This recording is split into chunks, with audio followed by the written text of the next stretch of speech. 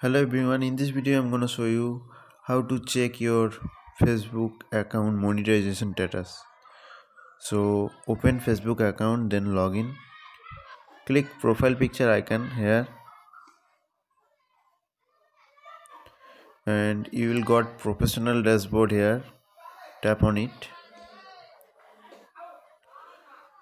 Scroll down and here you will get monetization option. Tap on it. And you can see that I already have got Stars option. I already enable it. And bonuses in-stream and subscription still not yet available on my Facebook account. So you can see that in-stream showing so if you want to know more just click arrow here and you will see that you are not eligible. The following criteria must be met.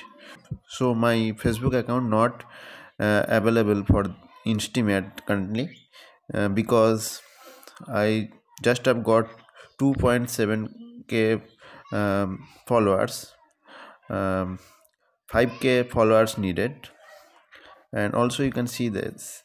A minimum of 60000 minute viewed on demand videos or live. And i just have got 3.8k views. Also you have to share five or more eligible videos or gone live uh, five or more times in the last 30 days to get this feature uh, i talking about in-stream ads so in this way you can easily check your facebook channel monetization status. So hope you like this video. Subscribe my youtube channel for more tips and tricks. Thanks for watching